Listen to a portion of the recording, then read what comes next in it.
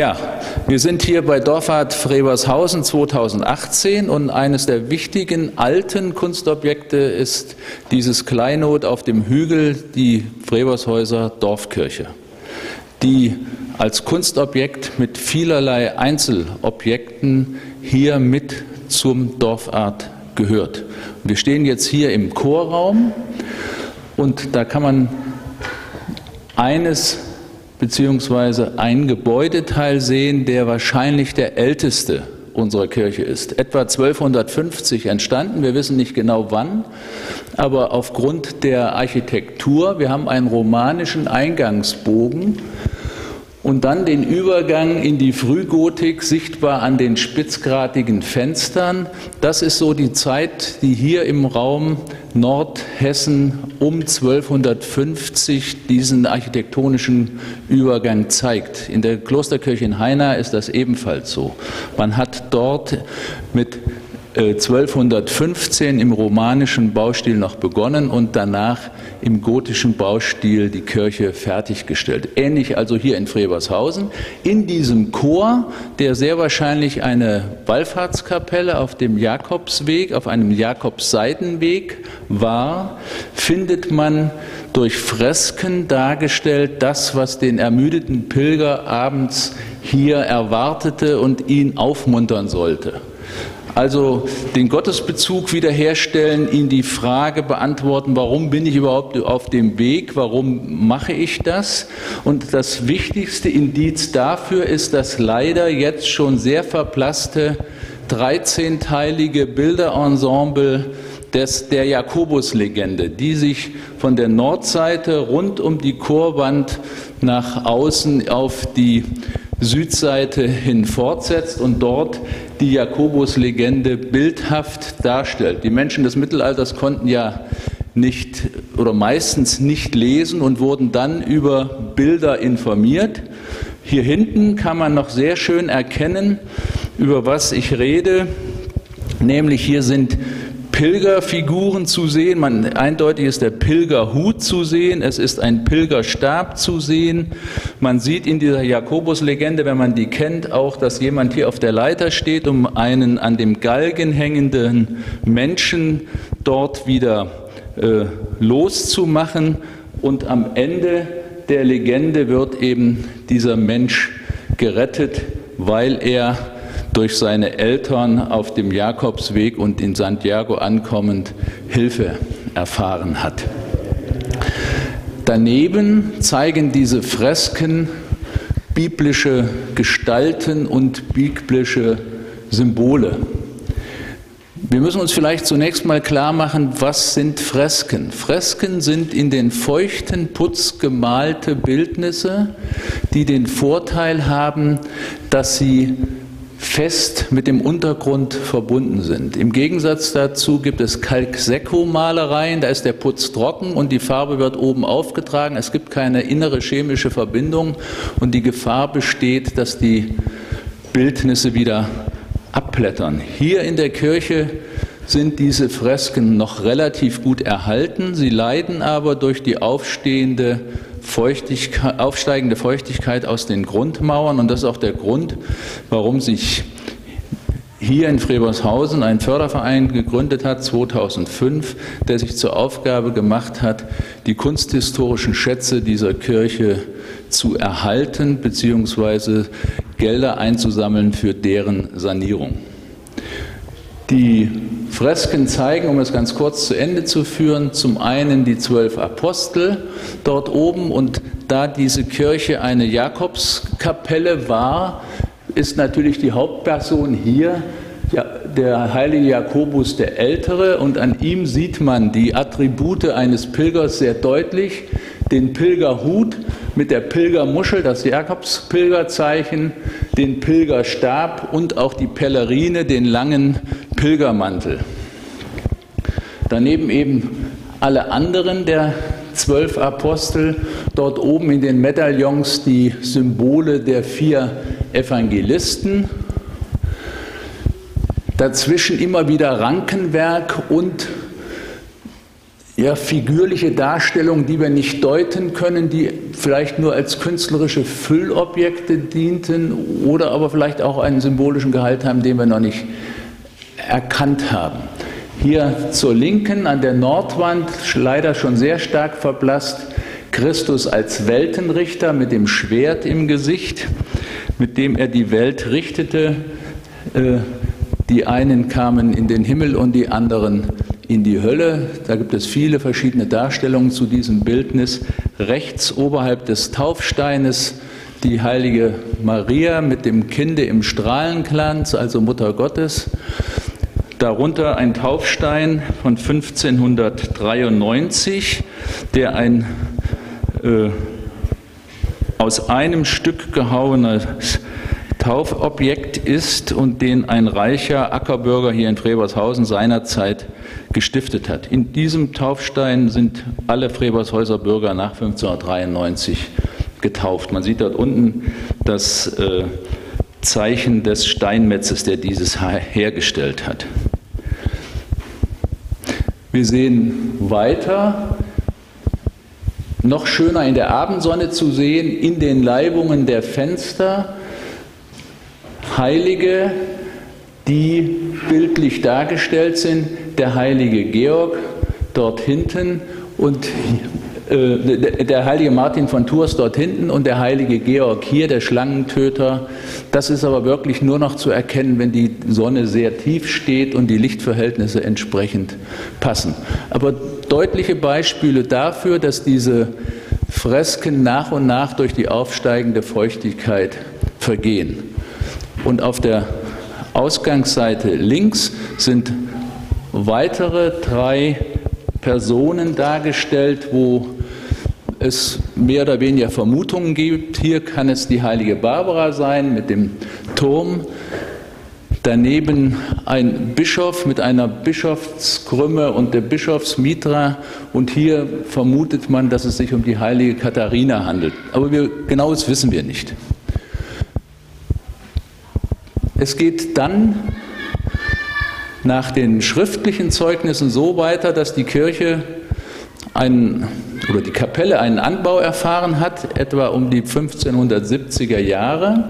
Der Rohbau stand schon lange Jahre vor, äh, brach vorhanden und die Gemeinde hat einen Bittbrief an den Grafen zu Waldeck gerichtet, er möge doch die Kirchengemeinde unterstützen, weil sie noch völlig unverkleibet, also unverputzt war. Und der Graf ist dieser Bitte gefolgt und hat dann Geld gegeben, um die Kirche mit einem neuen Dach einzudecken und auch verputzen zu lassen. Und aus der Zeit stammen auch, und da können wir jetzt vielleicht mal hingehen, die Putzstempel. Diese Putzstempel waren ganzflächig überall in der Kirche vorhanden. Man sieht hier noch Reste auf der Südseite. Hinten an, im Orgelbereich sind noch mehrere erhalten und hier an der Nordseite sind auch noch einige erhalten. Wenn man nach oben schaut, erkennt man aber, dass die Kirche vollständig im Kirchenschiff mit Putzstempeln versehen worden ist und die haben wir jahrelang nicht geachtet und beachtet. Sie waren halt da, sie sind verunstaltet durch verschiedenste Renovierungs- und Baumaßnahmen. Erst der äh, kunsthistorische Denkmalpfleger der Landeskirche hat uns dann auf die Wertigkeit gebracht. Es gibt in ganz Südniedersachsen und im gesamten nordhessischen Raum keine ähnlichen dieser Putzstempel in Kirchen. Man findet es ab und an noch in alten Herrenhäusern, aber in Kirchen sind sie für Nordhessen hier in Frebershausen einmalig. Was sieht man, auch wenn die Waldecker immer den Waldecker Stern dort hinein interpretieren? Es ist zwar ein achtzackiger Stern, aber nicht der waldeckische Stern, sondern es soll eine Sonne darstellen. Man sieht florale Elemente, hier eine Blüte und man sieht hier immer wieder wie sich wiederholende Putzstempelelemente, die florale und geometrische Figuren äh, innehaben. Hier zum Beispiel Lilien auf dem Kopf dargestellt und die Besonderheit ist, in diesem Dreieck über diesen Lilien auf dem Kopf stehend findet man immer wieder in diesem Dreieck zwei Buchstaben. Es geht die Vermutung um, dass diese Buchstaben die Initialen des Künstlers sind, der die Model erstellt hat. Diese Putzstempel, der Name Stempel sagt ja schon, man drückt etwas, sind entstanden durch äh, Formschnitte, wahrscheinlich in Birnbaumholz, und dieses, diese Formschnitte wurden dann systematisch in den feuchten Putz gedrückt und ergaben dann so diese figürlichen Darstellungen. Wir haben zusammen mit der Landesdenkmalpflege im hinteren Bereich, im Orgelbereich, dort wo am wenigsten restauriert wurde, diese Putzstempel dann in einer kleinen Fläche, wo sie am besten erhalten waren, restauriert. Und man kann sehr schön dort hinten sehen, äh, dass durch das Überstreichen und nicht nachrestaurieren die Ursprünglichkeit erhalten wurde. Hier ist es zum Beispiel so gewesen, dass der damals sehr kunsthistorisch interessierte Dorfschullehrer Kuckuck mit den Kindern in Anführungsstrichen Werkunterricht äh, durchgeführt hat und diese Putzstempel mit Zahnbürsten und kleinen Bürsten freigelegt hat. Lehrer Kuckuck war es auch, der 1932 die Fresken wiederentdeckt hat. Also er war schon ein sehr interessierter Mensch und er hat auch damals bei der Freskenfreilegung das Richtige gemacht. Er hat einen befreundeten Kurzprofessor in Kassel mit einbezogen, als er nämlich hinter einer abblätternden kleinen äh, weißen Putzscheibe dunkle Farbe erkannte und dann hat man erkannt, dass unter diesem weiß gekalkten äh, Kapellenraum tatsächlich Malereien und am Ende Fresken waren und die sind dann behutsam freigelegt worden. Und dieser Lehrer Kuckuck hat eben so etwas auch gemacht. Man muss es immer vor dem Zeitgeist sehen, ihm lag das Objekt am Herzen, aber aus heutiger Sicht hat er da vielleicht nicht so fein gearbeitet, wie wir es heute machen würden. Aber in 300 Jahren sagt man auch, wir haben vielleicht einiges falsch gemacht, was äh, aus unserer Sicht als richtig anerkannt wird. Man sieht, dass die Kirche, wenn Sie oberhalb der Orgel schauen, äh, auch noch Malereien in Grau hatte. Dieses Grau hat dann Eingang gefunden bei der Renovierung 2000. 2007 ist die Kirche wieder in Betrieb genommen, also zwischen 2005 und 2007 hat hier eine kräftige Renovierung stattgefunden, zu der unser Förderverein wesentliche Spendenbeiträge durch Spenden einsammeln geliefert hat. Sie können auf den Fotos, einige hängen dort hinten, sehen, dass die Balken, diese liegenden Balken, sämtlich abgefault waren auf dem Auflager. Und so eine Kirche hatte ja im Mittelalter noch keinen Ringanker. Es ist in den 1942er, 43er Jahren Wasser eingedrungen, weil im Krieg das Dach nicht kontrolliert wurde. Die Eichenbalken, die schon 500 Jahre alt waren, fingen an zu faulen und wir haben mindestens fünf Jahre mit drei oder vier verschiedenen Stützen, Fichtenstämmen, die überall hier reingestellt wurden, damit die Decke nicht einbrach, Gottesdienst gefeiert. Und aus dieser Idee ist der bis heute noch sehr rege Förderverein entstanden und der hat sich zu, zum Ziel gesetzt, sämtliche Maßnahmen äh, zur Sanierung und Erhaltung dieser, dieses Kleinods zu unterstützen. Wir haben 2014 eine Seminararbeit an der Uni in Dresden durchführen lassen, die sich mit den Fresken beschäftigt, weil wir gesagt haben, wir wollen erstmal wissen, was haben wir für einen Bestand. Festgestellt wurden sieben verschiedene Farbschichten durch Infrarottechnik äh, offengelegt. Wir haben dort einen kleinen Exzerpt aus dieser Seminararbeit aufgehängt. Und erst dann, wenn wir sämtliche Basisdaten haben, werden wir versuchen, weitere Restaurierungsarbeiten, soweit sie möglich sind, durchzuführen. Das Entscheidende ist die Feuchtigkeit. Wir haben hier zwei Feuchtemesser drin, zwei Trecker, die ständig messen im Halbstundentakt und uns über das Jahr hinweg eine viel zu hohe Feuchtigkeitskurve liefern. Das liegt natürlich daran, dass diese fast meterstarken Bruchsteinmauern keine Isolationsschicht haben und die aufsteigende Feuchtigkeit auch immer nach innen abgegeben werden. Wenn wir die optisch schönen Teppiche messen würden von der Feuchtigkeit, dann würden wir sehen, äh, über was ich rede. Wir hatten insbesondere in den Wintermonaten für unseren Chor den Chorfußboden mit solchen Teppichen ausgelegt, die rochen vor Schimmel, weil die Feuchtigkeit aus diesem Wollgewebe nicht herausging und sie ist halt in diesem Raum drin. Das heißt, man muss, wenn man eine Renovierungsmaßnahme durchführt, mit diesem Zustand einfach umgehen lernen. Was haben wir noch als, an Kunstobjekten hier drin? Das ist zum einen diese viel zu große Orgel, die 1934 hierher gekommen ist. Die Kirche hatte vorher einen Vorsänger. Die Annalen belegen, dass 1842 äh, ein Vorsänger namens Paul hier den Gottesdienst, beim Gottesdienst die Lieder immer angestimmt hat.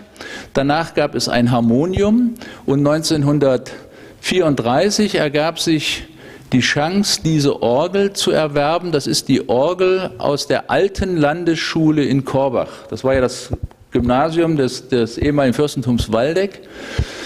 Und die hat die Orgelbauerfamilie Vogt errichtet. Als die Renovierung anstand, wurde die Orgel herausgenommen und dann konnte man die Kirche in seiner Ursprünglichkeit mal wieder sehen. Viele wissen gar nicht, dass im Mittelalter Gottesdienste im Stehen gefeiert wurden. Wenn man so an die großen Kaiserintronisierungsmessen denkt, dann fand das immer im Stehen statt und dieses Raumgefühl, die Bänke waren auch draußen, äh, ergab sich auch in dieser Renovierungsphase und dazu kam dann die Diskussion, Kirchenvorstand, Kirchengemeinde, auch Kirchenaußenstehende, kaufen wir uns nicht eine neue Orgel oder nehmen wir diese Orgel sanierungs, saniert wieder zurück?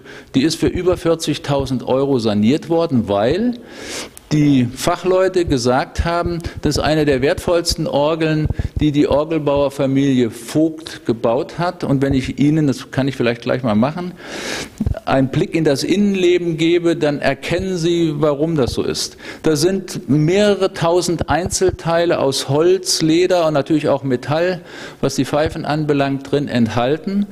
Und diese Orgel ist aus der Vogt-Dynastie der ersten Generation. Die nachfolgenden Generationen, die Firma ist wohl dem Alkohol geschuldet dann irgendwann ruiniert und zu Ende gegangen. Aber aus der ersten Generation hat man handwerklich hochqualitative Orgeln geliefert und deswegen kam dann auch die Entscheidung, ja, sie ist ein bisschen zu groß, aber sie ist so wertvoll. Für uns Frevershäuser ist das kein, kein Sakrileg, wir haben uns daran gewöhnt, aber für Außenstehende häufig äh, so ein Hindernis, wenn man hineinkommt und guckt vorher so eine Holzwand, die die Orgel umhaust. Äh, für uns selbst kein Problem. Wir lieben sie mittlerweile wieder, weil sie alle Töne, wenn der richtige oder die richtige Person an den Tasten ist, wiedergibt, die äh, man beim Singen hören will und hören kann.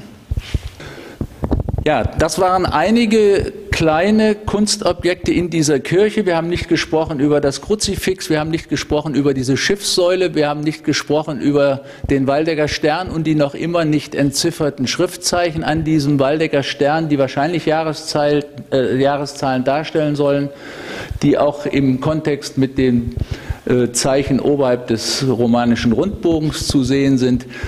Die Kanzel ist ein Objekt, zumindest zum Teil aus der ersten Kirchenschiffsphase und die Fenster, die früher mal gotisch waren, erzählen auch noch eigene Geschichten. Ich kann nur jeden Besucher einladen, wiederzukommen, um die Geheimnisse nach und nach zu erforschen und zu lüften. Im Rahmen unserer Dorferneuerung, die acht Jahre währte, haben wir uns in Frebershausen ein Logo gegeben, Tradition mit Zukunft. Und das Symbol dieses Dorfpfades und dieser Dorferneuerung ist das Kirchlein auf dem Hügel, weil egal aus welcher Richtung Sie kommen, Sie zuerst die Kirche wahrnehmen. Und so war es nur sinnschlüssig, dass wir die Kirche auch in unseren historischen Dorfpfad mit eingebaut haben und sie dann eben auch auf diesem Weg immer wieder zum Besuch einlädt. Sie ist eine offene Kirche. Das heißt, den ganzen Sommer über kann man hier zur stillen Einkehr hineingehen und äh, sich seinen Gedanken widmen.